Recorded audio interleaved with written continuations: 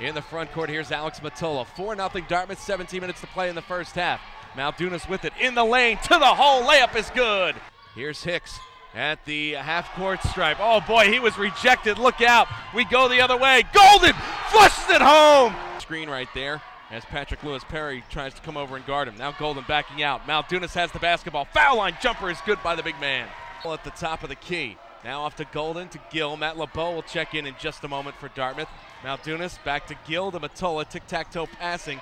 Golden has the basketball now. Over to Mitola. He'll fire the three. It's good. Giving the defense chant. Here's Boehm.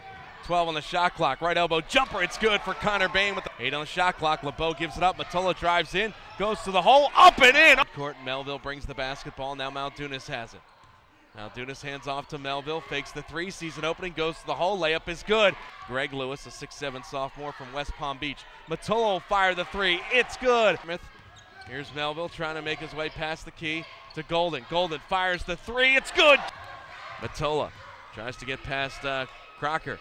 Back out to Maldunas. Maldunas in the lane, gets by one defender, goes up with a shot. It's good. On the arc now, dribbles to the top of the key, now to the right hand side, trying to make a move, throws up a wild shot. It's good. Here's Mitola with it. Mitola, pull up jumper. It's good. It's 10 on the shot clock. Melville has to make a move to the basket. Melville can't find anybody. Bounce pass to Boehm. Counted in the foul. Melville to Golden. Golden for three. It's good. Gill has the basketball. Gill driving in off the Boehm. Left baseline jumper is good. Here's Maldunas. Maldunas to the hole. Jam.